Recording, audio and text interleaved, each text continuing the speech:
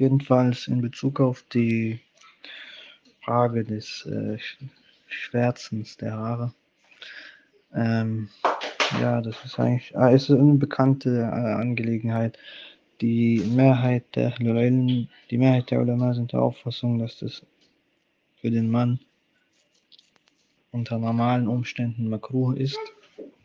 Unter normalen Umständen ist es für den Mann makruh nach der Mehrheit der Ilm. Dazu gehören die Malikiya und die, äh, die, wie heißt es, die Hanabila äh, und die Hanafiya.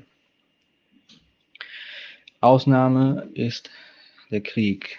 Während des Kriegs ist es mit Tifaq der Ahlul erwünscht, dass man sich die Haare schwarz färbt, weil das einschüchternder ist für den, für den Feind. Jedenfalls, ähm, das ist also die Sache, das ist Makruh laut der Mehrheit der Ahlul Unter den Schafi'iyya gibt es zwei Positionen. Die einen tendieren eher zur Karaha, die anderen tendieren zum Tahrim. Wie dem auch sei, der, die Karaha ist also der offizielle Standpunkt auch der hanbalitischen Rechtsschule und ähm, das ergibt sich daher, weil die Gelehrten grundsätzlich äh, dazu tendieren, Gebote und Verbote, Gebote und Verbote, also ich meine Imperative, Befehlsformen und Verbotsausdrücke äh, im Sinne der, des Istihbab, also des Erwünschtseins und der Karaha interpretieren, weil es sich nicht um essentielle äh, Dinge handelt, sondern meistens um Sitten, um äh, Verhalten, um Erscheinungs, äh, Erscheinungsbilder und so weiter. Und äh, Sittlichkeiten sind eine, eine erwünschte Sache, keine notwendige, keine Notwendigkeit, gehören nicht zu den Daruriyat des Dienst äh, und so weiter. Es gehört zu den Kamaliyat, also es gehört zu den Dingen, die den Menschen äh, auf der einen oder anderen Art und Weise vervollständigen, vervollkommnen. Und ähm, dementsprechend ist sowohl die Aufforderung des Färbens also es kommt ja auch in Imperativform. Vorher sagte er, äh, er sagte, äh, in Ahl al-Kitabi la yakhdibun, la yakhdubun. Die Ahl al-Kitab färben sich nicht färbt euch eure Haare. Das ist ein Imperativ. Ichdibu. Das ist ein Imperativ, aber das ist nicht verpflichtend. Genauso auch die Aussage äh, in dem Hadith von Abu, Abu Bakr, als sie ihn brachten, er sagte, sawad. Äh, verändert das, meidet aber das Schwarz. Das gehört zu den, zu den äh, Adab und den ähm, äh, den Adab und den äh, Sittlichkeiten und so weiter.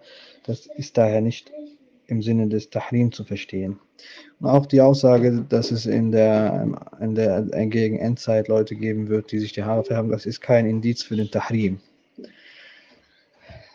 dass etwas ein, äh, ein Merkmal für die Endzeit ist, deutet weder darauf hin, dass es gut ist, noch dass es schlecht ist. Es ist ein Zeichen der Endzeit, dass Leute hohe Gebäude bauen. Das ist nicht verboten, hohe Gebäude zu bauen, auch nicht verpönt. Tamam. Also von daher, ähm, was die Frau dann angeht, ob das jetzt auch für die Frau zutrifft oder nicht, ist, ist das nur für den Mann oder ist das für die Frau? es ist auf jeden Fall, wenn es, äh, wenn damit Betrug und Täuschung begangen wird, dann ist es verboten. Ungleich, äh, unabhängig davon, ob es der Mann oder die Frau macht.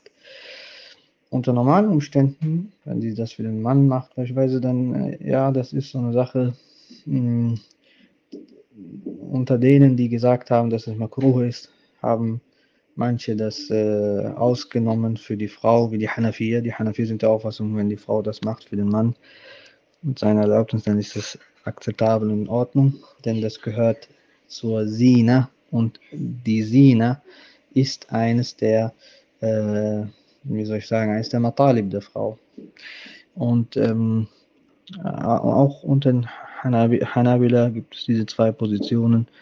Ähm, äh, Ishaq ibn Rahaway war der Auffassung, dass das für die Frau legitim ist. Also, wie dem auch sei, es ist nichts gravierend Schlimmes. Äh, wenn man es meidet, man kann ja, wenn man es meidet, ist okay. Wenn man es macht, ist nicht so, jetzt ist, also es ist nicht der Weltuntergang. Und ähm, wenn man kann, kann man ja auch dunkle Farben nehmen, die Richtung Schwarz gehen, aber nicht ja, nee,